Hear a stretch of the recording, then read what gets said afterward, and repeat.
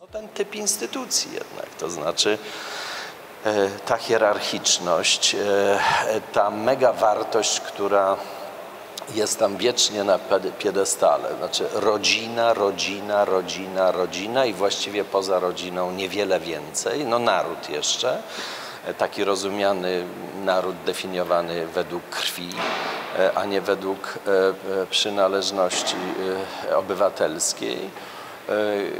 To, że no, przypominam te, te fakty, no, instytucja, która ma wielką, wielowiekową tradycję, kilkadziesiąt lat temu dopiero zdecydowała się po pierwsze, żeby pasterz się odwrócił przodem do niej i po drugie, żeby przemówił w języku zrozumiałym dla owieczek.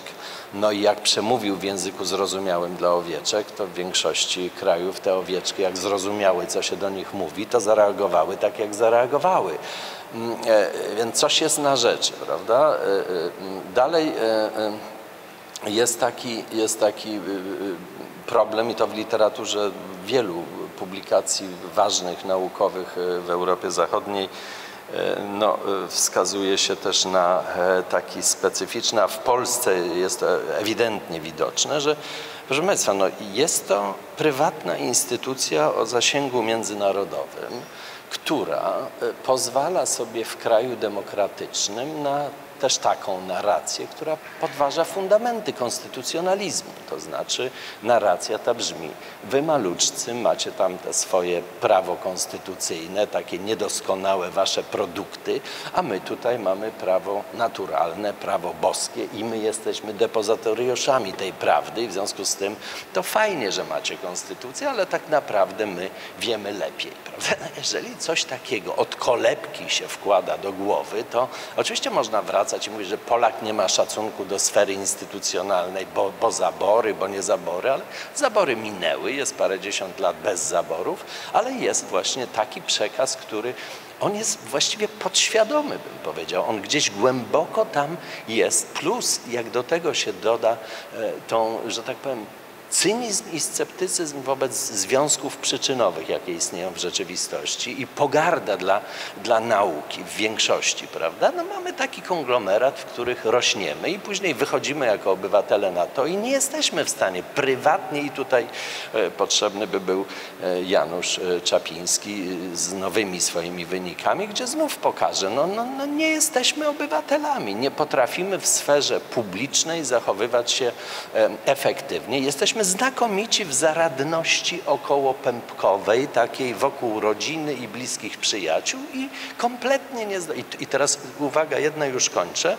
mianowicie ten polski fenomen tego znakomitego 25-lecia, on się brał z tego, że myśmy mieli bardzo takie proste, zapadłe rezerwy do wykorzystania ekonomicznej i one się skończyły. Już więcej na tej zaradności okołorodzinnej, takiej indywidualnej nie da się tego kraju pchać do przodu. Teraz potrzebny jest właśnie ten kapitał taki putnamowski, o której to i wartości, kultura kontraktu, kultura rozumienia dobra publicznego jako tego, które zwrotnie prawda, wróci do człowieka, też do tej rodziny e, e, i, tak dalej. No więc e, no, mamy problem. To znaczy mamy taki problem, że w sposób cywilizowany, w sposób e, e, e, spokojny, no, trzeba codziennie rano po gimnastyce wstawać, wychodzić na ulicę i starać się ograniczać, e, spychać e, instytucję prywatną o zasięgu międzynarodowym do miejsc, gdzie przynależne są i żeby dali nam spokój i nie wpływali tymi ideologicznymi e, e, e, swoimi wyziewami na, na młode pokolenie, które dorasta w takich warunkach, które po prostu są e, e, no, niesprzyjające temu, co uznajemy za jakościową demokrację. To tylko... Może zlikwidować bezrobocie. Czy ja powiem w ten sposób, jeżeli tak rzeczywiście wychodzimy z założenia, że ten, ten Kościół katolicki tak obniża ten kapitał społeczny, e, to może w ogóle nie należy zatrzymywać tego trendu. Tutaj są jednak takie pewne tezy, które mówią o tym, jak ten stosunki Kościół-państwo wyciągnąć z tej szarej strefy, co zrobić, które tak naprawdę mają, mam wrażenie, umocnić e, Kościół w społeczeństwie. Chciałam się spytać, jak pan odniesie się do tych e, uwarunkowań, które wynikają z religii katolickiej i wpływie ich na polskie społeczeństwo. Chyba tak. Nie do końca się zgadzam z panem profesorem, no ale to będzie tym e, lepsza dyskusja. Mm, A czy jest prawdą, że w Polsce mamy e, jakby znów kolejny paradoks, który obserwuję. Znaczy z jednej strony e, mamy bardzo szybką modernizację infrastrukturalną. Zresztą zobaczcie, siedzimy właśnie w, jakby w elemencie tej e, e, tej modernizacji infrastrukturalnej. Co więcej, jesteśmy już dość sprawni, nauczyliśmy się wylewać beton i stal, ale to kompletnie się nie przekłada na właśnie jakby tą miękką e, modernizację, która polegałaby na zbudowaniu dobrego czy też przyzwoitego społeczeństwa obywatelskiego. E, Niestety e, mm, w dużym stopniu także rząd Platformy Obywatelskiej uważał, że jeżeli zbuduje Polakom drogi, mosty, lotniska, to to przełoży się na zbudowanie społeczeństwa obywatelskiego. Guzik prawda. To czy na, będziemy mieli te, za chwilę taką sytuację w tym kraju, że będą mosty, drogi, e, lotniska, pendolina i Bóg wie co jeszcze i będziemy mieli e, fundamentalistyczne, ksenofobiczne, e, e, e, fun, radykalne e, społeczeństwo, tak? które będzie się bało obcych, które będzie wykluczało, które będzie piętnowało i tak dalej, i tak dalej. I uchodźcy dokładnie pokazują e, ten, e, ten model. Więc pierwsza moja teza jest taka, że za modernizacją infrastrukturalną nie idzie modernizacja e, społeczna, ponieważ ona jest dużo, dużo, dużo e, trudniejsza. Druga teza, o której pan profesor wspomniał, mianowicie, że, e, że ten proces sekularyzacji postępuje. Znaczy on postępuje, ale nie w takim sensie, że religia zniknie z naszego krwiobiegu społecznego. To znaczy proces sekularyzacji sprawia, że następuje przemiana religijności, czy też przemiana religii, ale to nie znaczy, że ona ulatnia się z naszego e, krwiobiegu społecznego. Ja mam, do, ja mam poczucie, że mamy dokładnie odwrotny proces, że po swoistym poście od Boga, czy też poście od religii następuje głód religii, prawda? No rzeczywiście wskazu- tych, tych samych badań pokazują, że wzrasta liczba osób, które są, określają się jako głęboko wierzące. Ona nieznacznie, ale wzrasta, czyli spada nam liczba ogólnie wierzących, natomiast wzrasta liczba głęboko wierzących. głęboko wierzących, ale proszę zobaczyć, że to już nie jest ten rodzaj religijności, który był mm, preferowany, czy też y, ustanowiony poprzez instytucję, która wkładała ci do głowy e, e, doktrynę, e, kodeks moralny, według którego miałeś żyć, tylko jakby na własną rękę kombinujesz, prawda? Znaczy, to jest, ta sekularyzacja polega na, polegająca na tym, że dokonuje się prywatyzacja religii i prywatyzacja naszej, naszej duchowości. Kolejna rzecz, która, która mi się wydaje, wydaje kluczowa, Niestety jest coś na rzeczy, że mm, katolicyzm legitymizuje hipokryzję. prawda? Znaczy dzieląc to, co prywatne na to, co publiczne. Znaczy jeżeli... A gdzie miłość bliźniego swojego? No, no to, jest, to jest problem, znaczy jakby raczej instytucjonalnie e, e, legitymizujemy, czy Kościół legitymizuje e, hipokryzję polegającą na tym, że prywatnie możesz robić to, co mm, uważasz za słuszne, natomiast wcho- wchodząc do sfery publicznej musisz robić to, co powinieneś. I e, to bardzo dobrze widać też w badaniach, które po prostu, ja nie, nie mówiłem o nich, bo one wszystkie są w naszym raporcie e, przytoczone, ale jeżeli pytasz rozwodników, czy jesteś za tradycyjnym małżeństwem za, i, e, sprzeciwiasz się rozwodom, to ten sam rozwodnik powie, że tak. Prawda? To znaczy jest nauczony, że ma mówić tak, jak ma być, a nie tak, jak jest, prawda? Znaczy kultura autentyczności, czy też, czy też etyka autentyczności jest w absolutnej pogardzie, jeżeli idzie o mm, e, to, co proponuje nam, e, proponuje nam e, mm, mm, Kościół. Kolejna rzecz, która e, jest e, obecna tutaj właśnie w życiu publicznym, że, że Kościół jakby nie ma e, w sobie za grosz jakby polityki samoograniczania się, prawda? To znaczy, zobaczcie, że Kościół bardzo szybko godzi się z liberalną demokracją, czyli to, o czym mówił pan profesor Markowski, kiedy jest w mniejszości. W takiej Francji nie ma problemu w zasadzie, prawda? Znaczy, w momencie, kiedy Kościół jest słaby, bardzo szybko mówi, że tak, liberalna demokracja to jest najlepszy system polityczny, bo właśnie tylko i wyłącznie e, fakt, że żyjemy w liberalnej demokracji i to ona, liberalna demokracja, jest warunkiem możliwości tego, abyśmy mogli głosić to, co głosimy, prawda? W sposób nieskrępowany, w sposób wolny, w sposób e, e, przejrzysty. W związku z tym, gdybym dziś doradzał polskiemu episkopatowi, a na to się niestety nie zanosi, albo gdyby ewentualnie chcieli mnie posłuchać, to absolutnie broniłbym liberalnej demokracji. Znaczy w tym sensie, że tylko ona gwarantuje Kościołowi e, właśnie tą wolność, o której, mm, o której, e, o której e, mm, tyle mówi i według zasad, które by chciał głosić. I już ostatnia, ostatnia uwaga. No, mm, Wiecie Państwo, no, Kościół to jest dość sprawnie e, zarządzana instytucja. Być może to jest jedyna instytucja w tym kraju, która jest w ogóle sprawnie zarządzana, prawda? I ona bardzo dobrze potrafi, e, że tak powiem, dbać o swoje, e, o swoje interesy, zabiegać o swoje przywileje.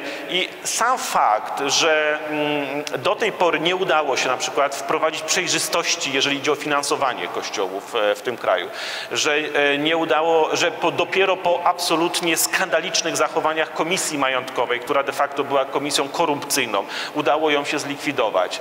To, że mm, kolejne postulaty od wprowadzenia religii do szkół poprzez, e, że tak powiem, umacnianie e, religii czy też nauczania religii e, e w szkołach e, świadczy o tym, że ten Kościół bardzo sprawnie potrafi poruszać się w ramach tego instytucjonalnego i prawnego porządku, żeby e, zabiegać o swoje interesy już ostatnia absolutnie rzecz. No, pamiętajcie, że Kościół w Polsce trochę przypomina dąb, który rośnie w waszym ogrodzie. I jakby nie możesz go wyciąć, bo jest chroniony, ale musisz się w jakiś sposób do niego e, ustosunkować. Możesz go obejść z prawej, z lewej, prawda? Możesz iść na zderzenie, ale, ale, ale on tam jest. I całe te, ten, te 25 lat pokazuje, jak rozmaite opcje polityczne od prawicy poprzez lewicę układały się z Kościołem. Po prostu najzwyczajniej w świecie dealowały, prawda?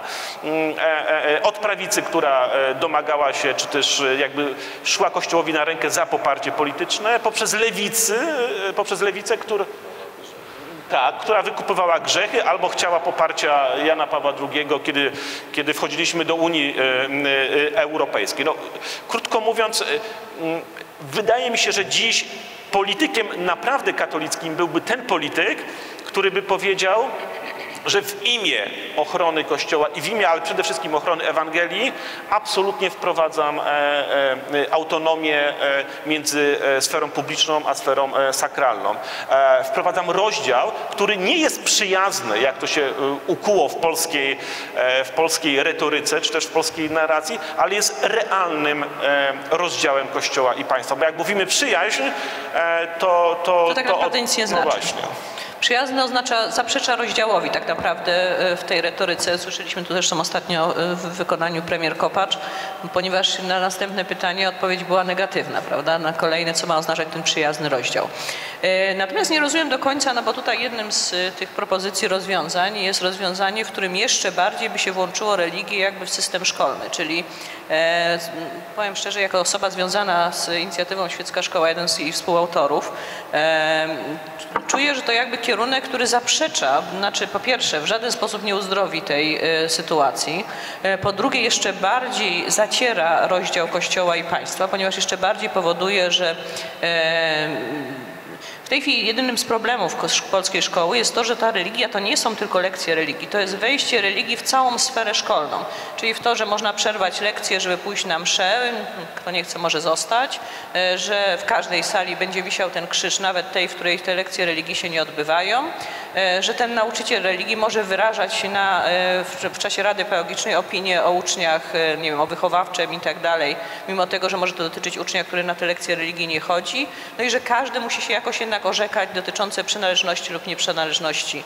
E, mam wrażenie, że ten kierunek, który tu jest proponowany w e, reformie kulturowej, no jakby idzie w poprzek, bo mówi, że włączmy jeszcze bardziej tego nauczyciela w społeczność szkolną, włączmy go jeszcze bardziej w radę pedagogiczną, czyli idźmy pod prąd, znaczy pod prąd takich ja może, bo, bo, jakby jestem autorem tego pomysłu, więc, e, więc krótko, znaczy to, co Pani powiedziała, dzisiaj mamy e, w szkole do czynienia z katechezą, a nie z religią. To, co my proponujemy, to jest nauka o religiach czyli de facto religioznawstwo, a No nie zupełnie, bo tam są dwie propozycje. Jest jedna propozycja, która mówi wyraźnie o religioznawstwie, o wprowadzeniu lekcji religioznawstwa na którymś tam poziomie gimnazjum, liceum, a nawet e, elementów na, pod, na poziomie 1-3, ale również mówi o tym, żeby lekcje katechezy dokładnie były w ten sposób, że nauczyciel e, jest wybierany jakby przez szkołę, jest w większym stopniu namaszczany przez szkołę niż przez kościół. Tak, bo to jest skorelowane z całym tym rozdziałem poświęconym edukacji. Znaczy nie widzimy e, w zasadzie problemu,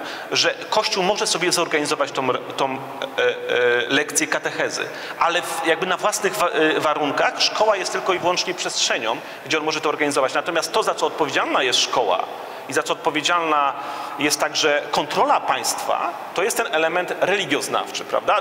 Dlaczego e, ja uważam, że nie należy rugować, czy też e, wyrzucić w ogóle e, religii? Właśnie dlatego, mm, mm, mm, czy z tego powodu, o którym mówiłem wcześniej, że dziś będziemy mieli do czynienia ze zderzeniem fundamentalizmu, to znaczy z powrotem religii. Co jest źródłem zderzenia religijnego? Nie nadmiar wiedzy, ale brak wiedzy. Prawda? E, jakby ten postulat wprowadzania wiedzy o religiach jest warunkowany tym, że ludzie zaczynają skakać sobie do gardła nie dlatego, że wiedzą za dużo, ale dlatego, że wiedzą za mało. Najczęściej wiedzą za mało o swoich e, mm, mm, sąsiadach, którzy są muzułmanami, hindusami, Żydami i, i tak dalej. W związku z tym, żeby, e, że zada, między innymi jednym z zadań liberalnej demokracji jest jakby próba ułożenia e, dobrego współżycia między ludźmi, którzy mają różne przekonania religijne, światopoglądowe, polityczne, proponujemy, żeby nauka o religii została. Właśnie dlatego, żeby przestać demonizować e, swoich, e, swoje siostry i braci, którzy wyznają innego, innego Boga. Zobaczcie Państwo, co się stało przy okazji no, uchodźców. Kto jest gorszy od uchodźcy, który ma oczy, twarz i stoi przed tobą i jest twoim sąsiadem? Tylko i wyłącznie uchodźca wyobrażony, prawda? Żeby jakby rozbić ten fantazmat wyobrażonego, nie wiem, Żyda, muzułmanina, buddystę, musimy wprowadzić ten element racjonalności, o którym też mówił e, profesor Markowski, prawda? W związku z tym wyrzucanie religii w ogóle, czy nauki religii ze szkół jest wyrzucaniem, wylewaniem dziecka z kąpielą. Co pan profesor na ten temat sądzi? Ja, e, był taki moment, jak e, e, tutaj e, Jarek mówił o e, e, krytycznie o Kościele, że zebrałem się w sobie i chciałem coś pozytywnego też powiedzieć, ale przeszło mi teraz i e, wrócę do tego może za chwilę. Natomiast jeśli chodzi o, o, o tą religię w szkołach i w ogóle to tak, po pierwsze chcę, chcę powiedzieć coś takiego. Nie uważam, by nie było ważne, gdzie o czym się mówi.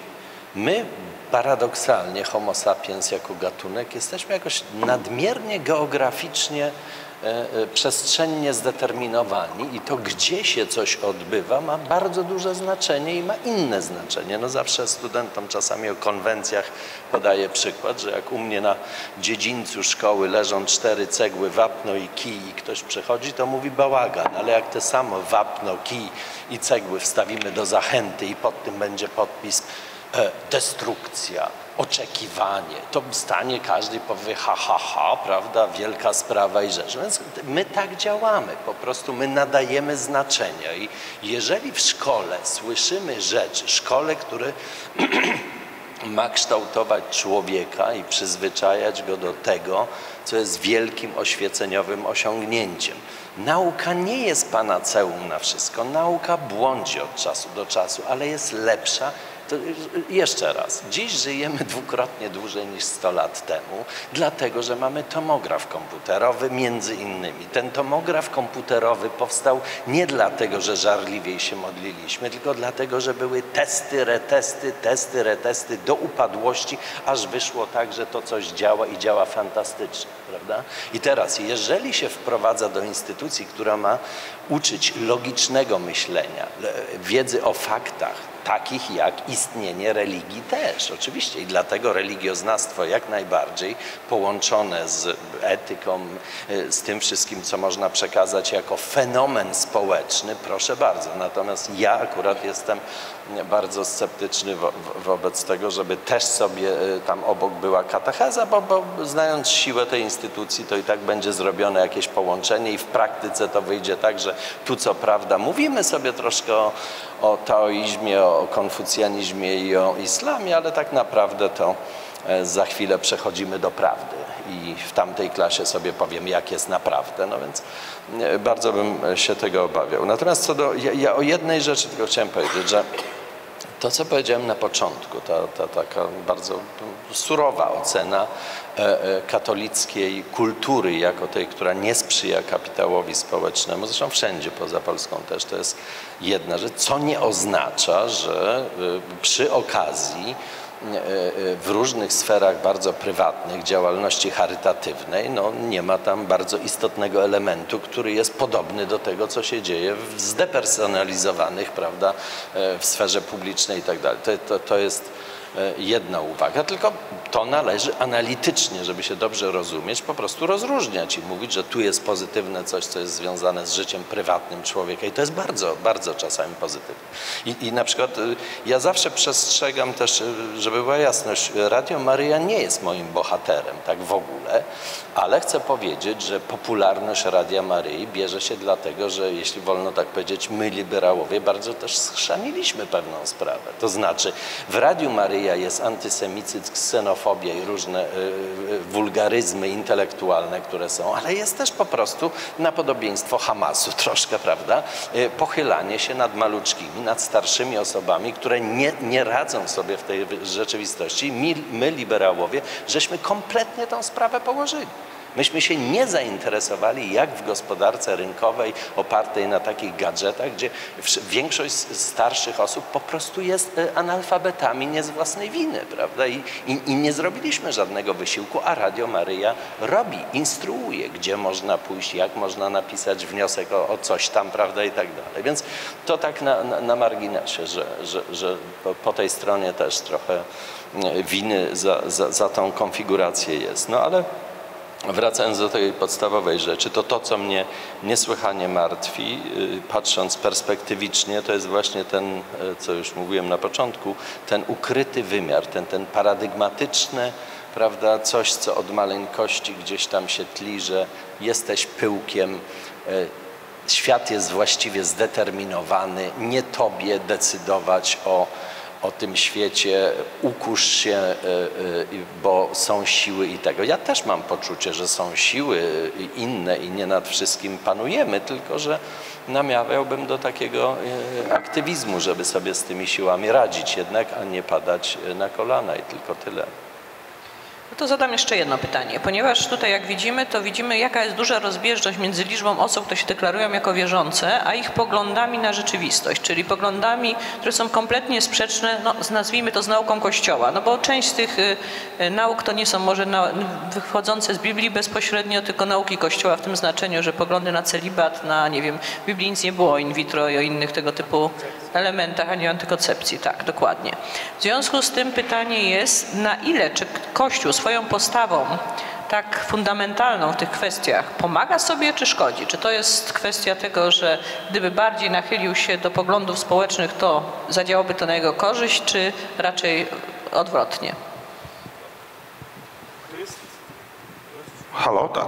To jest w ogóle dobre pytanie, ponieważ to jest przedmiotem, nie wiem czy Państwo e, e, śledzą, no, media e, jakoś temu poświęcają uwagę, czyli synod poświęcony rodzinie, który odbywa się mm, obecnie w Rzymie i jest dość poważne starcie między, nazwijmy to grupą progresywną, prawda, czy też postępową, którą reprezentuje papież Franciszek i tą grupą konserwatywną, którą, do której należą także polscy biskupi, którzy mówią, że ani o jotę, chociażby mm, rzeczywistość mówiła nam coś innego, nie możemy zmienić nic na temat właśnie e, roli e, małżeństwa, e, kobiety, rodziny w nauczaniu, w nauczaniu Kościoła.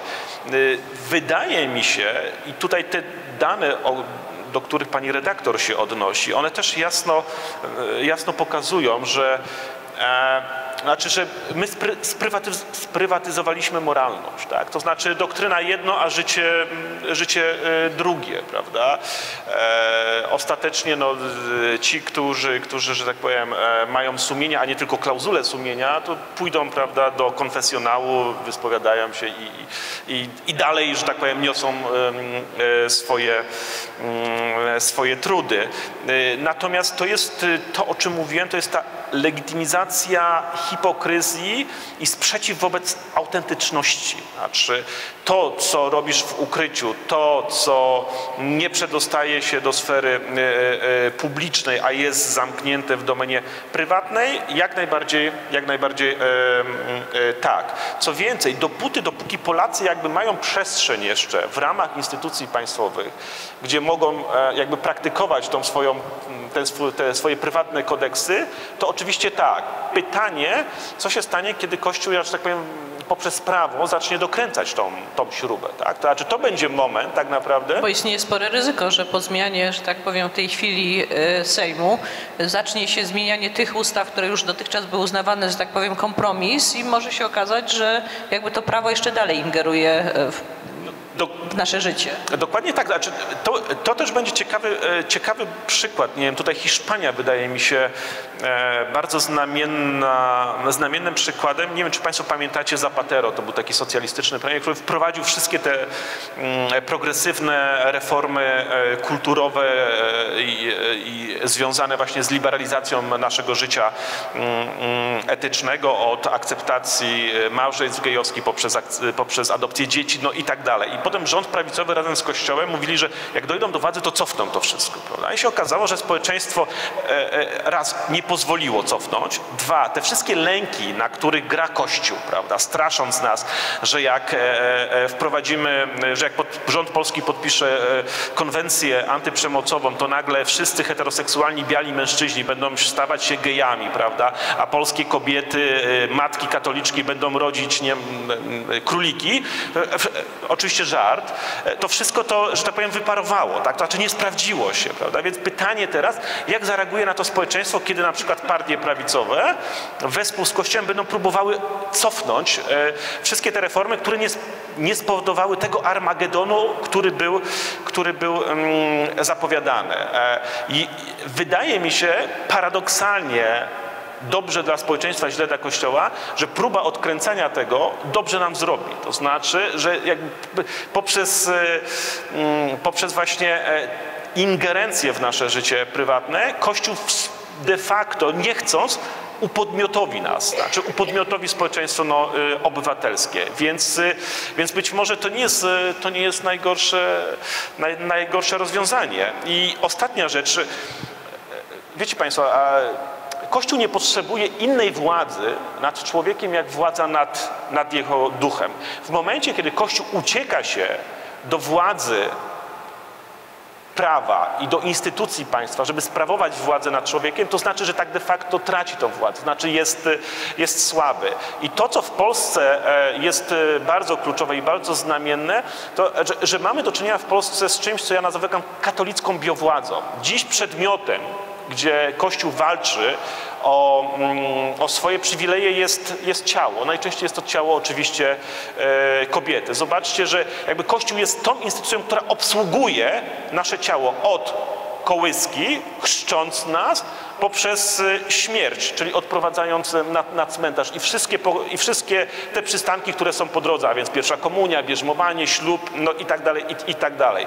Kompletnie mnie nie dziwi, że Kościół tak mocno walczy o tą sferę e, e, biowładzy, ponieważ jest to ostatni bastion, który mu pozostał. W momencie, kiedy straci kontrolę nad ludzkim, patrz, kobiecym e, ciałem, kobiety są tu podwójnie dyskryminowane, bo są i ludźmi, kobietami, e, wtedy, e, wtedy przestanie mieć kompletnie znaczenie, a więc to, o co chodzi profesorowi Markowskiemu.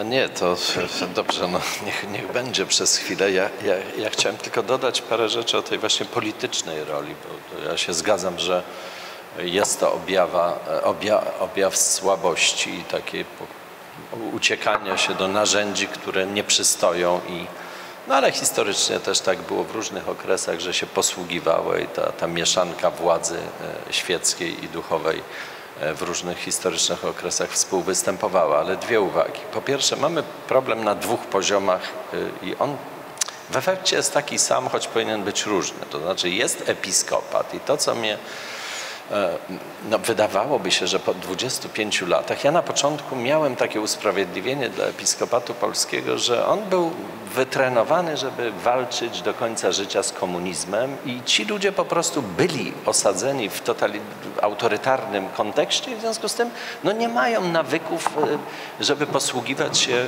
e, po- po- poruszać się w demokracji w sposób taki, jakie demokracja przewiduje. No ale minęło te 25 lat i takiej jakiejś jakościowej poprawy w sensie rozumienia demokratycznych procedur i usytuowania się nie bardzo widzę, a czasami wręcz jak patrzę na to, jak e, episkopat nie broni swoich, nawet swoich pasterzy, którzy są bardziej otwarci na świat, że tam jeden głos czasami się nie odezwie w sprawie księdza Lemańskiego czy kogoś, prawda? To jest to, jest to trochę e, e, przykre co najmniej. I druga uwaga.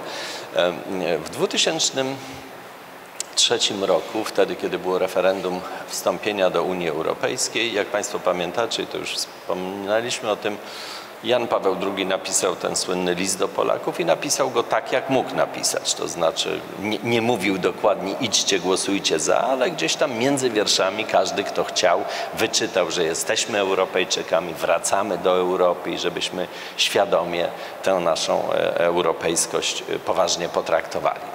Otóż według naszego rozeznania, przy czym zastrzegam się, że w odróżnieniu od na wstępie cytowanego artykułu nie są to systematyczne badania, ale taki ogląd, który tam kazaliśmy sobie zrobić e, w Polsce, w około 30-40% kościołów ten list w ogóle nie został odczytany. Nie został, po prostu. Oprócz tego, co episkopat, oprócz tego, co, co papież, jest ten poziom tego przeciętnego e, e, pasterza na, na poziomie lokalnym. On jest to niesłychana taka mieszanka też takiego nacjonalizmu. No proszę, e, donoszą mi, że pytam moich współobywateli chodzących do kościoła, jak to jest, czy ile razy słyszą o głodujących afrykańskich dzieciach, ile razy Kościół napomina e, homo sapiensa, żeby zwierzęta traktował po ludzku, to źle brzmi, ale humanitarnie. Ile razy w Kościele można o takie troski o globalny, e, coś poza polskością i tak dalej. No, no odpowiedź jest taka mętna, to znaczy, że czasami coś się zdarzy, ale to nie jest jakaś główna narracja, to nie jest to, nad czym, nad czym się e, po- pochylają. No i teraz e, uwaga ostatnia jest taka, że są też takie wstępne e, dociekania, co się dzieje z tą młodą Polonią, e, na przykład, no tymi trudno nazwać, nowymi e- emigrantami do Wielkiej Brytanii. I tam taki wzorzec się jak gdyby rysuje, że ci emigranci po przybyciu do, Nowej, do Wielkiej Brytanii chodzą początkowo do polskich kościołów katolickich, po czym po roku czy dwóch zaczynają chodzić do kościołów katolickich, gdzie księdzem jest Anglik, ponieważ nie mogą słuchać ciągle o tym grzechu, o tym, o tym, o tym determinizmie, o tym wszystkim, ty, ty, tym straszeniu, tylko chcą światłe, światłej narracji o współczesności, o dylematach, przed jakimi stoją. Znowuż chcę powiedzieć, że, że, że znam to z, z drugiej ręki, te badania są kontynuowane, na razie te liczby nie są jakieś, ale taki trend też jest widoczny, więc on coś wskazuje, bo to, to wskazuje na to, że, że tutaj na miejscu też e, e, takie, e, takie przemiany byłyby e, jak- jako powiedziałbym podaż e, religijna mile widziane, bo po, popyt niewątpliwie na to jest, żeby, żeby sensownie do ludzi o współczesnych e, dylematach mówić. I, mm, Chyba przed z niecierpliwością czekam na takie doniesienia. I oczywiście znowuż jest tak, że bez uogólnień. No, są miejsca, są kościoły, są pasterze, są ludzie, którzy, którzy słuchają sensownych rzeczy i nie. Czyli rozumiem, że na otwartość Kościoła bardziej na razie nie mamy co liczyć. Raczej powiedziała, że na razie ten nasz Kościół jest dość fundamentalny. E, W związku z tym no jeszcze wrócę do tej e, słynnej lekcji religii. Czy to nie jest tak, że Kościół sam powinien zauważyć w pewnym momencie, że te lekcje religii na terenie e, szkoły bardziej mu szkodzą niż służą? To znaczy już w tej chwili w jednej z parafii, w jednej z diecezji zdecydowano, że obok lekcji, które odbywają się w szkole, mają się odbywać również lekcje w parafii, ale jednocześnie jakby czy Kościół nie jest trochę zakładnikiem pieniędzy, to znaczy bardzo często te lekcje religii są źródłem utrzymania e, proboszcza, który po prostu e, no jakby od tego decyduje funkcjonowanie wobec odpływu, e, odpływu wiernych, funkcjonowanie małej parafii. W jaki sposób, czy, bo ja jednak mimo wszystko bym się odwołała do tego tekstu, który Pan napisał, że w ramach tych zmian dotyczących proponowanych, powrót od roku 2016-17 do ustaleń konkordatu w sprawie nauczania religii. Władze publiczne mają obowiązek stwarzać warunki do prowadzenia w szkołach lekcji katechezy, według przygotowanych przez Kościoła programów i prowadzonych przez osoby posiadające kwalifikacje zgodne z wymaganiami władz duchownych. Zatrudnianie tych osób, uprawnionych katechetów w przypadku Kościoła katolickiego, powinno jednak należeć do władz oświatowych, a ich status formalny w szkole nie powinien różnić się od statusu nauczyciela. To jest dosłowny zapis z tego, co jakby z tego fragmentu, tego raportu, który Pan przygotowywał. I czy to nie jest w ten sposób, że gdyby jednak rzeczywiście przeprowadzić go tak, jak inicjatywa Świecka Szkoła by chciała, czyli że e, lekcje religii są niefinansowane przez y, państwo, tylko przez Kościół katolicki. Nie odbywają się w trakcie lekcji, tylko odbywają się po lekcji dla osób rzeczywiście zainteresowanych. W szkole podstawowej niech one się odbywają nawet na terenie szkoły y, w jednej przeznaczonej sali do tego w związku z tym tam, gdzie by wisiał ten krzyż albo tam w dwóch. Natomiast, żeby jednak wyraźnie rozdzielić to, co jest świeckie od tego, co jest y, kościelne, Oczywiście na przykład tutaj też są takie dane dotyczące tego, że jednak o, o, chyba ponad 80% osób na przykład jest przeciwny temu, żeby e, oceny z religii znajdowały się na świadectwie e, szkolnym. Natomiast ten zapis jednak pokazuje, że my jakby mamy potraktować to w ten sposób, że mamy wrócić do stricte przez Pana odczytanego zapisu e, konkordatu, który by oznaczał bardzo silne włączenie właśnie tych lekcji religii w strukturę szkolną. Proszę Państwa, najpierw uwaga natury ogólnej. Znaczy nie ma tak złego prawa, prawa w ramach którego, jeżeli ludzie są sensowni i e, chcą sensownie działać, żeby nie mogło się działać, prawda? I zarazem nie ma tak dobrego prawa, w ramach którego, jeżeli będziemy chcieli naginać rzeczywistość do swoich przekonań ideologicznych, to to po prostu zrobimy. W związku z tym, e, gdybyśmy przestrzegali zapisów konkordatu, to to nie byłoby najgorzej, prawda? Problem polega na tym, że my e, zazwyczaj tego, tego nie, nie, nie, nie przestrzegamy, tak jak nie przestrzegamy tego, żeby na lekcje w szkołach była alternatywa dla lekcji religii, czyli etyka. Prawda? No, no, po prostu tego, tego e, też nie ma. Ja mogę Państwu osobistą wycieczkę zrobić. Znaczy, mój syn nie chodzi na religię, mimo że ja skończyłem e, teologię, ale właśnie dlatego, że skończyłem teologię, dlatego go nie posyłam na religię, prawda? Znaczy, co więcej, jeszcze wiem, czym to, czym to grozi, kiedy e, w Polsce katecheci, że tak powiem, ze swoimi prze, jakby ze swoją edukacją teologiczną przychodzą i potem, mm, potem wykładają. Wiecie Państwo, na przykład nie miałbym nic przeciwko temu, żeby w ogóle Kościół w Polsce e, nawet e, był kościołem państwowym, ale żeby miał taki sam status, jak ma Kościół anglikański w Wielkiej Brytanii, prawda? E, co z tego, że my mówimy o zasadzie autonomii, kiedy de facto mamy kościół państwowy w wykonaniu kościoła rzymsko, rzymskokatolickiego. Więc, więc znowu, tak jak mówiłem, że dużo łatwiej jest budować mosty i drogi niż zbudować e, dobre społeczeństwo obywatelskie, tak samo tutaj. Znaczy nie wprowadzimy tak dobrych przepisów, jeżeli e, będziemy mieli e, ludzi, którzy nie będą chcieli ich przestrzegać. W związku z tym wydaje mi się, że duży wysiłek polega na jakby na tej edukacji, jakby mówieniu czym się różni katecheza od nauki e, o e, religiach. Że jeżeli zapisujemy, że etyka ma być przedmiotem alternatywnym w szkołach, to nie jest to tylko i wyłącznie e, pusty zapis, ale rzeczywiście mm, ta, ta etyka ma być alternatywą dla tych uczniów, którzy, którzy, którzy nie chcą chodzić na religię.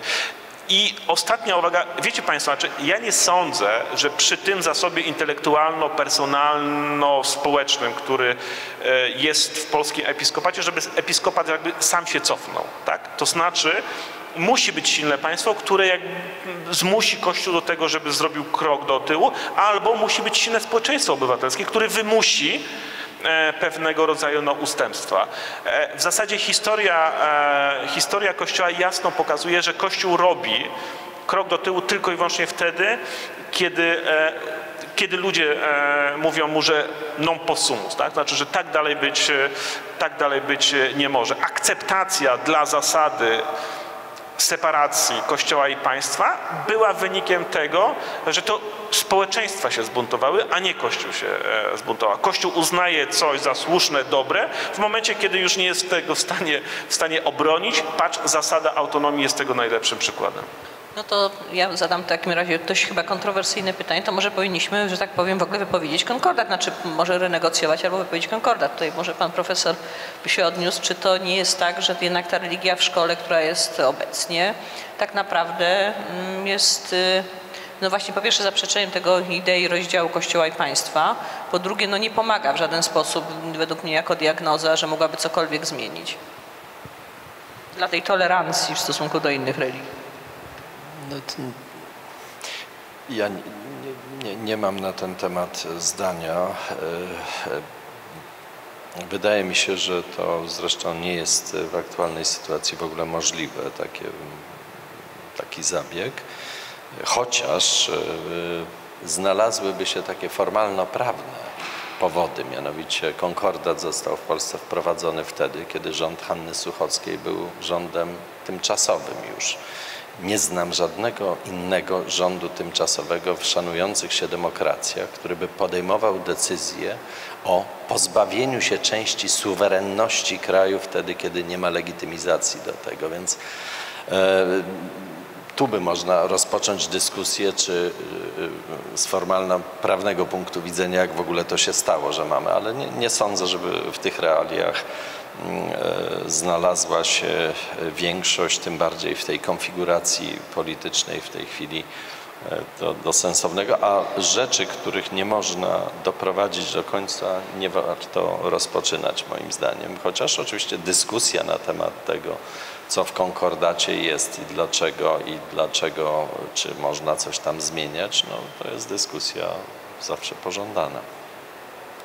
A ta zmiana finansowania, żeby chociaż wyjść z założenia, że ponieważ w konkordacie rzeczywiście zapis dotyczący religii w szkole jest tylko o organizowaniu, że jakby państwo zobowiązuje się do organizowania lekcji religii w szkole, natomiast nie ma nic o finansach, czyli można by przyjąć hipotezę, że e, biorąc pod uwagę, że organizacja oznacza użyczenie e, sal i użyczenie, nie wiem, terminu w planie ucznia, e, no to nie jesteśmy zobowiązani jakby do finansowania.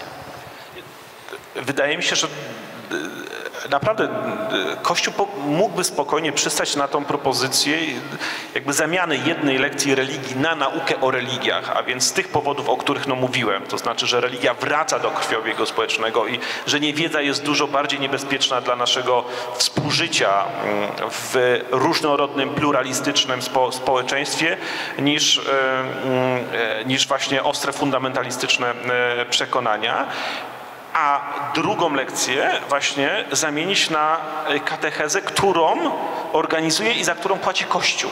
Prawda? Znaczy jakby szkoła jest tylko tym, tym miejscem, który, e, które użycza mm, jakby gościnnie, tak? w, w, ramach zasady gościnności swoje, mm, e, swoje e, miejsce. Wydaje mi się, że jakby to, to świadczyłoby oczywiście o dojrzałości a i polskiego episkopatu, ale także o dojrzałości Kościoła, który rozumie naczelną zasadę liberalnej demokracji. Znaczy, że liberalna demokracja nie tyle dba o prawa większości, ale dba o prawa mniejszości i jakość tej liberalnej demokracji poznaje się po tym, jak chroni się prawa, e, prawa e, e, mniejszości. Co do finansowania, oczywiście tak. To znaczy nie wydaje mi się, a w zasadzie mam, pewno, mam przeczucie graniczące z pewnością, że w tym kraju co jak co, ale żaden duchowny z głodu przymierać nie będzie i na to się w najbliższym czasie mm, e, nie zanosi. Nawet wtedy, gdyby państwo część swoich e, e, dotacji nie przeznaczała na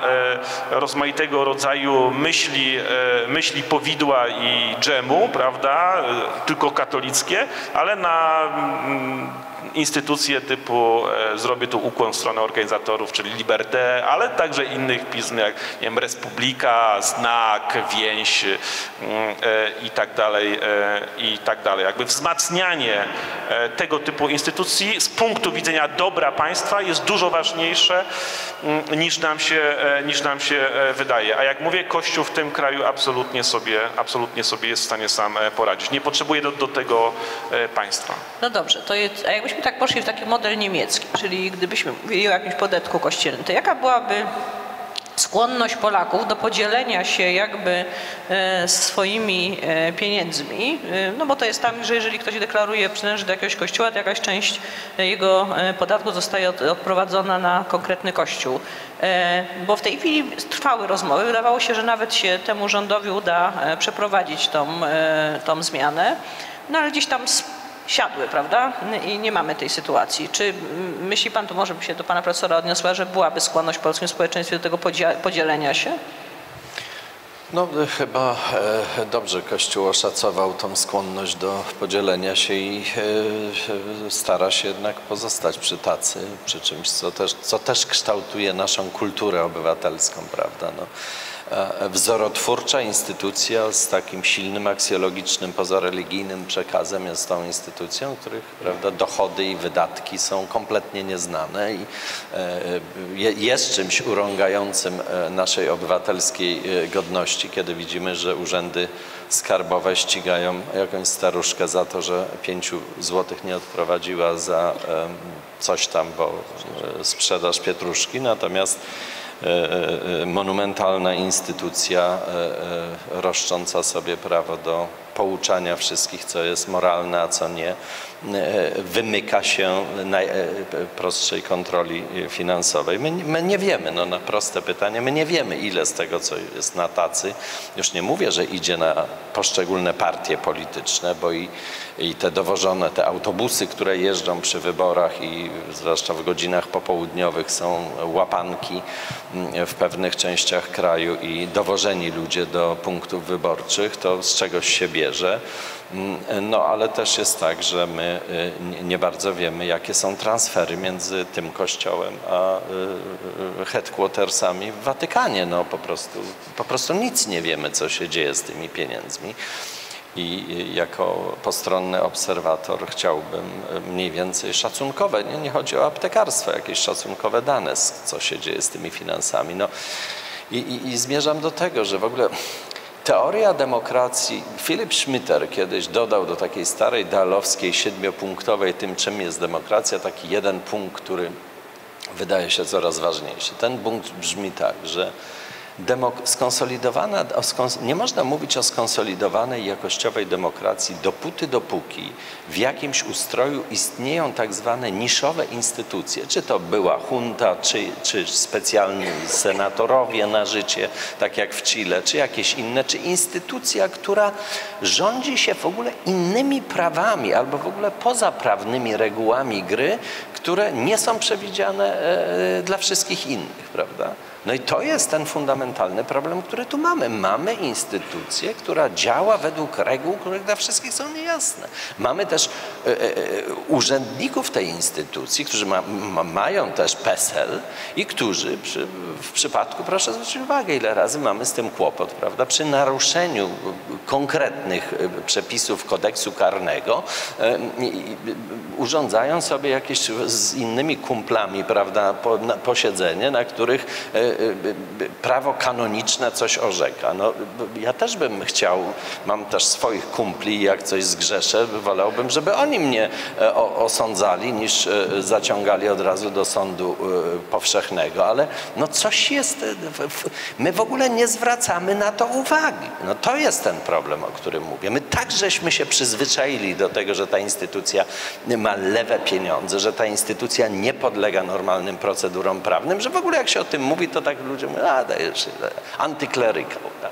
A tymczasem chodzi o fundamentalną jakość demokratycznego społeczeństwa i państwa. I, i, i tyle. Czy rzeczywiście uważa Pan, że ten brak kontroli na przykład nad finansami Kościoła to jest taki element wyłomu w demokratycznym państwie, czy jest to taka struktura, która ma charakter, no nie wiem, wspólnoty, która ma prawo do pewnej autonomii? Nie, tutaj w zasadzie nic nie mam do dodania po, poza tym, że no, wiecie Państwo, to jest kultura Bóg zapłać, nie? albo kultura koperty, tak? Także to, to, to, to, to jest absolutnie e, e, sankcjonowany ten typ e, transakcji, który, który dzieje się właśnie albo na Bóg zapłać, albo na kopertę, albo jeszcze Bóg wie, e, Bóg wie jak, więc Po prostu, że nasz dochód narodowy jest strasznie niedoszacowany, bo cała sfera usług jest e, nie, nie, niezapisywana i z pewnością jesteśmy już prawie tak bogaci jak Czesi. e, Bo, Albo Niemcy. Bo, e, bo, no jeszcze trochę, ale, ale to, to jak w krajach, wie, wiecie Państwo, International Monetary Fund i Bank Światowy ma problem z krajami afrykańskimi, że tam jest tyle tych barterowych wymian i usług, które nie są rejestrowane, że większość tych krajów ma dużo większą tą szarą strefową podbicie e, PKB. Myślę, że i tutaj jest, e, no, jesteśmy znacznie bogatsi. To jest ten Włączenie Kościoła w szarą strefę wydaje się dość daleko idącym tym. Nie, to, to jest, e, znaczy e, cały ten nasz postulat, który zawiera się w reformie kulturowej był dokładnie to, co pani powiedziała, na próbie wyciągnięcia go z tej szarej strefy. Jest jeszcze jeden moment, czy element, dla którego Kościół boi się jak diabeł święconej wody. E, tego przejrzystego finansowania, e, które mm, wierni odpisywaliby sobie od, e, od podatku. Mianowicie, bo to jest element kontrolny przez wiernych. Prawda? To jest klucz. To jest de facto klucz. To znaczy oni, e, mówię oni, e, episkopat i biskupi, e, proboszczowie, boją się, że wtedy będą musieli zmienić swoją strategię duszpasterską, prawda? To znaczy to, co jest na przykład w Stanach Zjednoczonych, że jeżeli e, jesteś złym proboszczem, złym gospodarzem i tak dalej, to nie dajemy ci kasy, nie dajemy ci kasy, przymierasz głodem, prawda?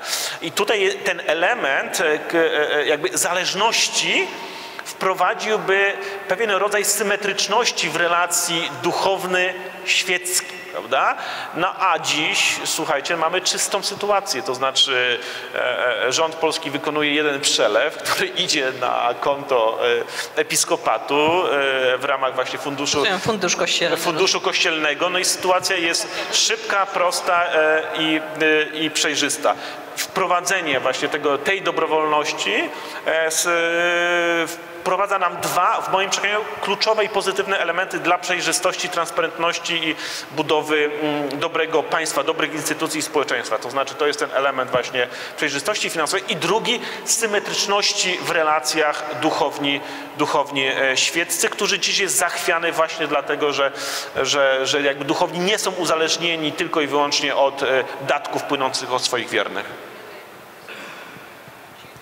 Ja tutaj zaznaczę, że pan profesor Markowski y, za chwilę uczestniczy w drugim panelu i musi nas opuścić. Y, Nie wiem, czy chciałby jeszcze coś powiedzieć na zakończenie. Chciał powiedzieć, że Jarosław Makowski, bardzo to tylko jedna literka, będzie reprezentował moje poglądy bardzo dobrze i odpowie na wszystkie pytania dużo inteligentniej i wyczerpująco niż ja bym mógł to uczynić, więc e, żadna strata. O, tak. Myślę, że możemy po, podziękować panu profesorowi za udział w tym panelu. E, Jakby ktoś był zainteresowany dalszym posłuchaniem, to uczestniczy w panelu teraz już w języku angielskim piętro wyżej, dotyczącym, Demokracji. dotyczącym kryzysu demokracji. Także jakby ktoś miał ochotę posłuchać, to też oczywiście e, można tam się włączyć. E, Ja myślę, że teraz, ponieważ został nam jeden panelista, to może ktoś z państwa miałby ochotę zadać jakieś pytanie albo jakoś tam się ustosunkować do tego, o czym mówimy. Tylko prosiłabym o wtedy o pod...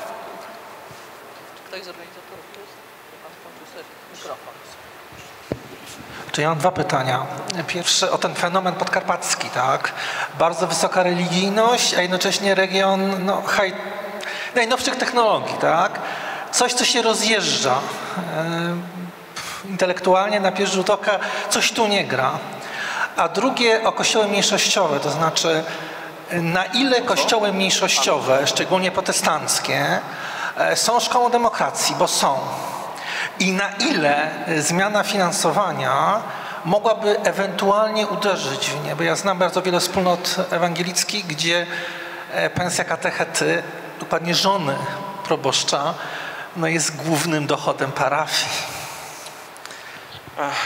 Y, Co do fenomenu podkarpackiego, to wiecie Państwo, znaczy, to, to, to nie jest tak, że e, nowe technologie oznaczają też e, lepsze społeczeństwo, tak? Znaczy nasz e, święcie panujący nowy prezydent Andrzej Duda jest najlepszym przykładem, jak w jednej ręce trzyma smartfona, a w drugiej kropidło, tak? To znaczy to się absolutnie, to się absolutnie nie, nie wyklucza, tak? Wręcz przeciwnie, myślę, że w tej, w tej kulturze, w której teraz funkcjonujemy, to jak nie masz w jednej, w jednej dłoni kropidła, a w drugiej smartfona, to w zasadzie zasadzie giniesz, prawda? I, i, e, więc to jest odpowiedź na fenomen e, podkarpacki.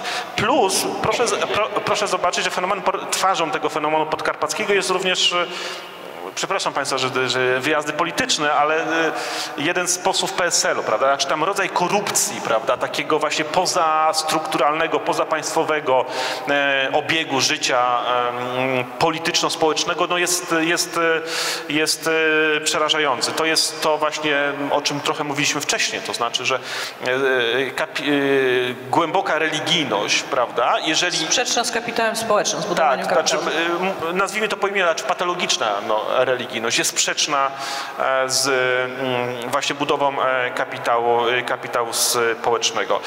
Co do, co do kościołów mniejszościowych, to ja no, no coś za coś, tak? Znaczy, ale wspólno, wspólnoty, wspólnoty mniejszościowe mają to do siebie, że mają dużo większy stopień identyfikacji swoich wiernych ze swoim kościołem, a więc zarazem także dużo większy stopień hojności wobec swojego, e, e, swojego, e, swojego kościoła. Być może, być może należałoby pomyśleć, jak pomóc kościołom mniejszościowym, prawda? Jeżeli rzeczywiście by było tak, że one miałyby, one miałyby stracić, przede wszystkim one na tego typu dobrowolności, którą, którą postulujemy. Ale no mówię, no to jest sprawa do, do dyskusji.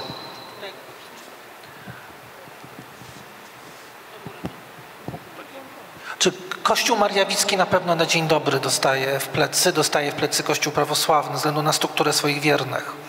Czy tu jest ten problem podatku rolnego, y, stosunkowo uboższej ludności małomiasteczkowej, gdzie ludzie są wciągnięci w życie parafii, ale no nie wysupłają tych pieniędzy, tak? Ja obserwuję, że parafie mariawickie, one naprawdę prowadzą bardzo aktywne życie społeczne, wciągają parafian politykę gminną, ale finansowo bez funduszu kościelnego i bez finansowania katechezy tam nie ma nic. Tak jak mówię, no, znaczy można by było pomyśleć, prawda, zrobić jakiś rodzaj, e, rodzaj klauzuli dla tych kościołów, które na pewno, prawda, po głębokiej analizie społeczno-ekonomicznej wiadomo, że e, na tego typu reformie by, e, by straciły. No ale proszę zobaczyć w ogóle, jak to, jak to brzmi, tak? Znaczy nagle ta solidarność międzykościelna zawiązała się wokół kasy, prawda? Znaczy Bóg sobie poradzi, ale kasa jest najważniejsza, tak? Więc, więc, więc, więc to też pokazuje, że jak nie wiadomo o co chodzi, to tak naprawdę chodzi o, o, o pieniądze. Pani chciała zadać pytanie. Mam dwie sprawy. Pierwsza, pan profesor Markowski y, powiedział coś takiego, że powinniśmy rano wstać, zrobić gimnastykę i wyjść, dawać odpór e, wyziewom, tak to nazwał. I ja bym chciała zapytać, czy wobec tego, że społeczeństwo obywatelskie u nas jest na bardzo niskim poziomie, czy udałoby się w tej chwili wskazać jakąś siłę, najlepiej jednak polityczną, e, która by e, ograniczyła wpływ Kościoła na, e, na świeckość państwa, bo, bo dzieje się bardzo źle moim zdaniem. To jest jedna rzecz. Druga rzecz, która może ma z tym związek również, ja jestem pokoleniowo troszkę starsza od e, Pana. I ja pamiętam takie czasy, choć od komunizmu bardzo daleko y, byłam zawsze, że y, y, wpływ i przekonanie y, Polaków o tym, że nauka jest czymś wielkim, jest czymś ważnym, y, dyskusje, a właściwie podważanie przez naukę argumentami naukowymi istnienia Boga miały na nas wpływ. Myśmy y, y, mieli wybór. Mieliśmy wtedy wybór, bo kościoły były i można było do nich chodzić, bo bez przesady, po krótkim czasie można było chodzić do kościołów, ale takie przekonanie, że idziemy ku postępowi, idziemy ku nowoczesności, y, y, było zupełnie inna atmosfera pod tym względem w nas, w młodzieży, wtedy szkolnej, licealnej. I y, trze, trzecia rzecz. Co takiego jest w społeczeństwie, nie wiem, być może polskim, na innych się nie znam, że ten, który jest najsilniejszy, zawsze przedstawia siebie jako ofiarę. I w sytuacji, kiedy mamy 90% zapisanych w księgach, a powiedzmy te 60 czy 40%, nie wiem, naprawdę czynnych y, katolików, którzy no, moim zdaniem no, nie mają żadnych przeszkód w, w y, wyznawaniu i praktykowaniu religii, że oni ciągle słyszymy, że są prześladowani, że y, oni nie mogą swobodnie uprawiać swojej wiary, wręcz osoby z mm, bardzo znane celebryci mówią o tym, że no nareszcie mogą swobodnie uprawiać, bo, bo, bo do tej, przyznawać się do, do religii katolickiej, bo do tej pory się wstydzili. Y, ten syndrom ofiary, który y, nie wiem skąd się bierze, a jest no, szokujący po prostu dla mnie. Poproszę o odpowiedź. Zacznę od drugiego pytania i zaproszenia tutaj do, na, na, na to spotkanie e, e, nieżyjącego już e, filozofa, teologa, pewnie wszystkim dobrze znanego księdza Józefa Tischnera, prawda, który powiedział, że mm, ten naród nigdy nie wojował myślą. To znaczy my naprawdę że nie przeszliśmy tego, co przeszły każde zachodnie społeczeństwo, to znaczy zderzenia z oświeceniem. Znaczy katolicyzm, Kościół nie przeszedł zderzenia z oświeceniem. On nigdy nie wojował wojował myślą, znaczy my zawsze wojowaliśmy sercem, prawda, a najczęściej y, uczuciami y, i, to, to się dziś odbija. Zobaczcie, że e, nawet w, mając w swojej no, najnowszej tradycji takich ludzi jak Tischner, jak arcybiskup Józef Życiński, jak ksiądz Stanisław Musiał, wszyscy ci ludzie zostali zapoznani w takim oficjalnym dyskursie. Oczywiście oni jakby funkcjonują na obrzeżach, na, na marginesach, ale w takim oficjalnym dyskursie absolutnie nie funkcjonują. Funkcjonuje kto? Oczywiście Jan Paweł II. Sprowadzony do czego? Do seksu, tak? Znaczy, jedyną rzecz, którą do perfekcji opanowali polscy biskupi z nauczania Jana Pawła II, to jest, e, to jest powiedzenie, że żyjemy w cywilizacji śmierci, prawda? Znaczy, nic innego nie zapamiętali z ponad 30 lat pontyfikatu Jana Pawła II. Znaczy, to jest, że tak powiem, e, intelektualnie dyskwalifikujące kompletnie, tak? Nie zapamiętali tego, że było spotkanie międzyreligijne w Asyżu, nie zapamiętali tego, że napisał wielką encyklikę ekumeniczną Ut Unum Sint, nawołując do zniesienia prymatu, nie zapamiętali tego, że pisał ważne encykliki społeczne, prawda, e, o pracy e, i, i tak dalej. A wszystko sprowadzili do tego, o czym mówiliśmy, czyli tej bio, katolickiej biowładzy, czyli do, do, do, do ciała, seksu, anty, antykoncepcji. Tak? Znaczy nas episkopat absolutnie mógłby być jakby konsylium ginekologicznym, znaczy bez, bez problemu mógłby się prze, prze, e, przekwalifikować. E, Było pytanie też o siły, czy są w stanie zmienić tą sytuację, tak?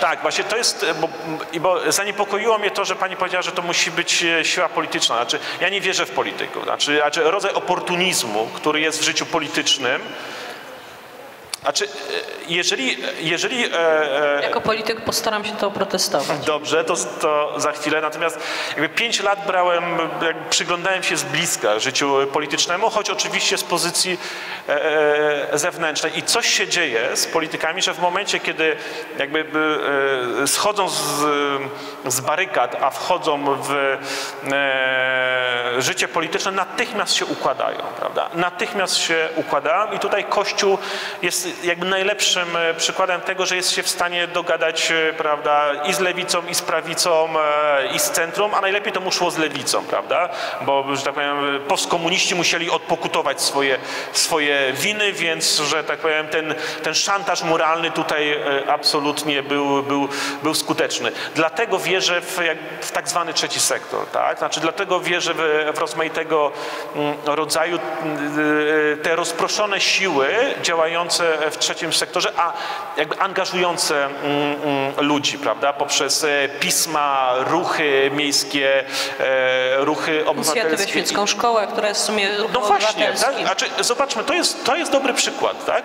Znaczy e, inicjatywa Świecka Szkoła, gdzie kilka osób i, i, i dzisiaj to jest o tyle łatwiejsze, że mamy jakby to narzędzie w postaci mediów społecznościowych, prawda? Znaczy to jest oczywiście problem... W pewnym momencie wydarzeniem, jakim jest wyprowadźmy religię ze szkół, to było 70 parę tysięcy ludzi, którzy się zarejestrowali na wydarzeniu, prawda? I to w krótkim czasie. E, Zebraliśmy w sumie 150 tysięcy podpisów, czyli 150 tysięcy osób zdecydowało się podać swój PESEL, podać swoje dane osobowe pod inicjatywą, która nie była zbierana w tak e, jednak układzie mm, e, instytucjonalnym. Jeszcze, do góry. Wydaje mi się to jednak dość idealistyczne podejście teraz. Jestem troszkę od Państwa starsza. Ja pamiętam e, moment, kiedy był dyskutowany e, wprowadzenie religii do szkół. E, Pamiętam te ogromne dyskusje i pamiętam ogromny jednak sprzeciw społeczeństwa w tym momencie, wielkie rozważania, czy to rzeczywiście będzie dobre pos- posunięcie i nic, proszę Państwa, nie pomogło. Ja rozumiem, że ten trzeci sektor, bardzo fajnie, ale to są no, na, na, na stulecia ta praca. Ale właśnie to jest, e, to jest do, dokładnie ten moment, że jednak żyjemy w tej, e, w tej kulturze e, klikalności, prawda? To znaczy, że dziś jakby... e, Znowu odwołam, e, e, Kant mówił, że żyjemy, w, że jakby dwie kategorie definiują nasz sposób funkcjonowania, to jest czas i przestrzeń. W zasadzie dzisiaj one zostały obie zakwestionowane, wszystko dzieje się teraz. Prawda? I dużo łatwiej jest zmobilizować opinię e, e, publiczną do tego, żeby e, wpływać na działania polityków. No, podam ostatni przykład, który skończył się sukcesem, mianowicie akta i sprzeciw wobec akta, prawda? Znaczy to pokazało siłę społeczeństwa sieciowego, prawda? I dziś wydaje mi się, że, że to jest szansa. Oczywiście, oczywiście istnieje przepaść między klik to do, to znaczy przejście od online do offline, prawda? Jesteśmy świetni, jeżeli idzie o online, jesteśmy dużo gorsi, jeżeli idzie offla, y, o offline, prawda? I, i, i to wydaje mi się e, e, problemem, no ale pracujemy nad tym, tutaj Ale Liberty zawsze, jak to mówią, pracuje. kropla drąży skałę, prawda? W związku z tym, e, owszem, ma tysiące lat, ale zmienił się jednak dyskurs. Jeżeli się przyjrzymy na obecne ugrupowania, które startują e, do Sejmu, ja też startuję między innymi do Sejmu, to w większej liczbie ich e, nie wiem, programów, ich stanowisk pojawia się jednak ten rozdział Kościoła od państwa. I chociaż załóżmy Platforma mówi o tym przyjaznym rozdziale Kościoła od państwa, który powiedzieliśmy już, że jest pustym słowem, tak naprawdę to przyjazny wyklu- wyklucza ten rozdział, to jednak jest co najmniej są trzy ugrupowania, które mówią już wyraźnie o rozdziale Kościoła i państwa. Mówię, jest pośród ośmiu, ośmiu zarejestrowanych. E, W pozostałych też jest mowa o pewnych zmianach, e, nawet tych takich, no nie wiem, które ugrupowań, które są utożsamiane bardziej z prawicową stroną e, Natomiast być może te cztery lata e, rządów e, e, PiSu zadziała lepiej niż cokolwiek innego, bo jeżeli rzeczywiście zacznie wchodzić lekcja religii na maturę, jeżeli rzeczywiście zaczną mówić o ustawie, która będzie ograniczać aborcję nawet z powodu, nawet taką, która jest w tej chwili dopuszczalna z przyczyn, z przyczyn zdrowotnych, to może się okazać, że ten opór społeczny narastający spowoduje, że jakby już w następnej narracji, przy następnej kampanii stanie się to znowu tematem ważnym. Bo na przykład kwestia aborcji się stała w tej chwili tematem w ogóle takim, którego politycy był taki długi okres, w ogóle się boją poruszać. To znaczy jest, jest y, o ile była kiedyś jeszcze akceptowalnym tematem i tak dalej, to w tej chwili zeszła prawie że do podziemi. To znaczy najdalej idącym wnioskiem jest utrzymajmy ten kompromis, który mamy obecnie. E, Co najwyżej po tym ostatnim stanowisku Trybunału Konstytucyjnego, e, Konstytucyjnego jest mowa o tym, jak obronić realizowanie obecnej ustawy e, w parlamencie, czyli znaczy ustawy w, w życiu. To znaczy jak, co, co zrobić, żeby to prawo, które funkcjonuje, było realizowane. Żeby było realizowane, bo w tej chwili jest e, takie ryzyko, że ono po prostu przestaje być realizowane ze względu na klauzulę sumienia. Może damy Pani głos jeszcze, ponieważ czeka od dłuższego czasu. Dobrze, ja najpierw adwocem do tego, co, co pani trochę o tym wprowadzeniu religii do szkół. Miałam zacząć od czegoś innego, ale e, ja pamiętam ten moment, kiedy religia do szkół weszła i to był moment drastycznej desakralizacji. Kiedy uczniowie, którzy w salkach zachowywali się w pewien konkretny sposób, ponieważ było to miejsce w jakiś sposób włączone do kościoła, w jakiś sposób święte, no, nie wycięli katechecie takiego numeru, jakiego wycięli w szkole. To się stał przedmiot pośród innych przedmiotów, a równocześnie niedługo później zaczęło się mówić o tym jako o bierzmowaniu jako tym ostatnim sakramencie chrześcijańskim. I, I to był ten efekt. I tutaj chyba Kościół sam sobie strzelił w stopę. Ja akurat miałam cudowną, cudowną okazję mieć etykę od samego początku w szkołach, w których chodziłam. I od początku ta etyka w moim liceum, wcześniej w podstawówce była ważna i nie prowadzili jej katecheci.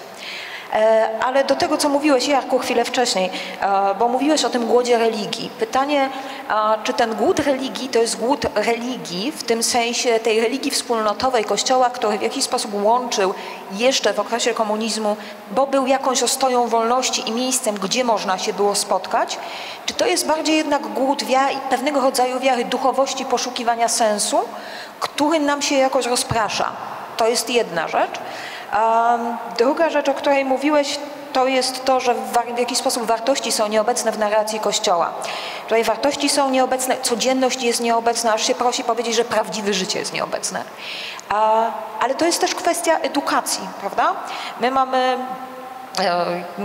nie akurat miałam, miałam okazję stety lub niestety poprowadzić zajęcia z klerykami swego czasu, którzy są no właśnie, przerażająco e, zastrachanymi młodymi chłopcami, e, którym na dzień dobry wkłada się do głowy cały katalog pewnych możliwości, niemożliwości i których w praktyce od codzienności, przynajmniej w tych seminariach decyzjalnych się odcina. Tam dobiega się kolegę do pokoju, tam dobiega, dobiega się kolegę, z którym się idzie na popołudniowy spacer, tam dobiera się według pewnego klucza lub zupełnego absurdu to, co ci chłopcy mają robić. Są rzeczy, których tym chłopcom nie wolno powiedzieć, są rzeczy, których tych chłopców nie wolno nauczyć, a potem oni trafiają na parafię, gdzie mają takiego tak powiem, starego doktrynalnego proboszcza, który wysyła ich do szkoły dokładnie do tych dzieciaków. I oni, oni, oni ze swoimi, że tak powiem, bardzo zastanymi, zacofanymi poglądami robią się jeszcze bardziej zastrachani przed tym proboszczem, przed tymi dzieciakami. A potem mamy takiego e, młodego księdza, który na religii w centrum Krakowa dzieciom w pierwszej klasy, klasie podstawówki niemieckiej dziewczynce tłumaczy, że e, no Niemcy zabijali Żydów, więc to Niemcy zabili Pana Jezusa i twój tata jest temu winny. Jarku. To jest, wiecie Państwo, e, wydaje mi się, że dziś Kościół jawi się jako taka tratwa wobec niepewności, ryzyka i nieprzewidywalności, jaka, jaką, e, w jakiej nam przyszło żyć, a jaką jest nasza rzeczywistość, prawda? Mm, e, zobaczcie, że w zasadzie nie ma dzisiaj mm, sfery, która nie byłaby naznaczona ryzykiem. Od geopolityki poczynając, tak? Putin u bram z jednej strony, uchodźcy z drugiej.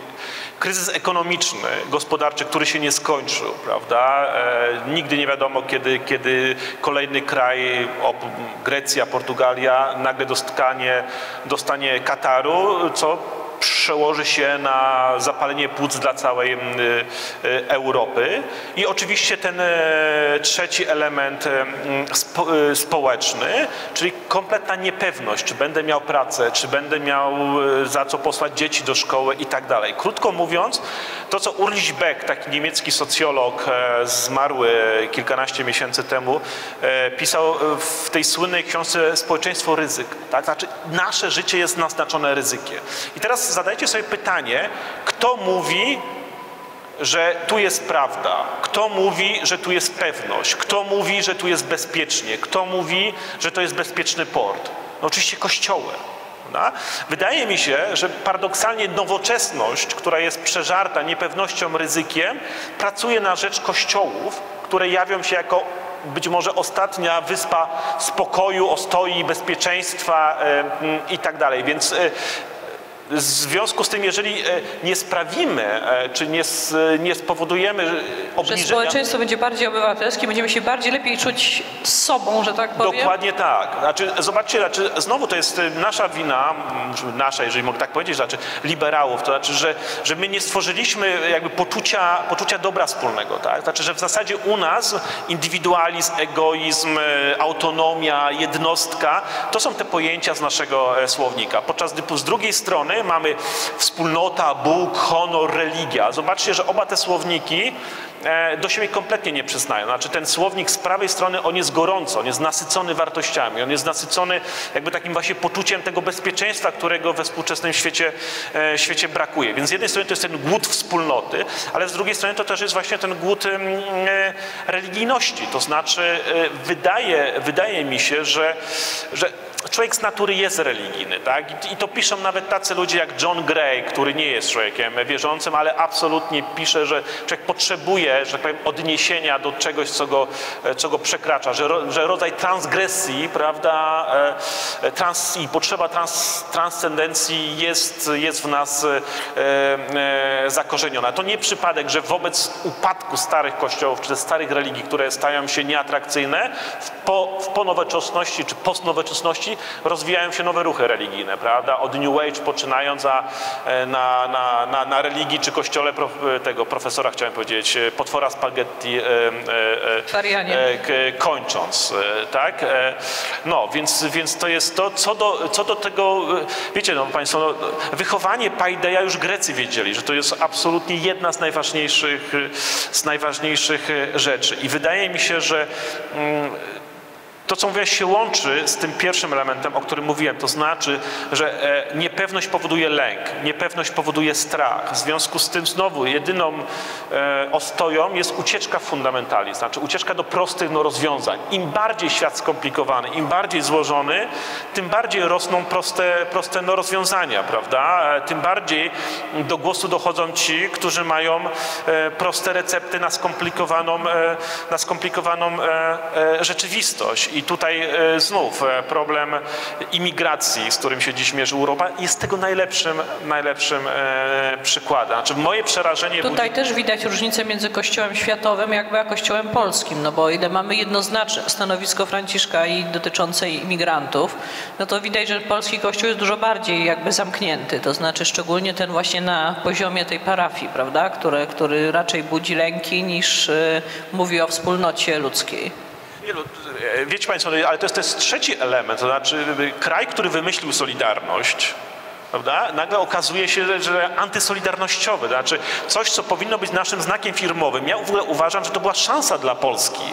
Prawda? Znaczy jakby odnowienie idei solidarności na nowo przy okazji problemu czy kryzysu e, e, imigracyjnego.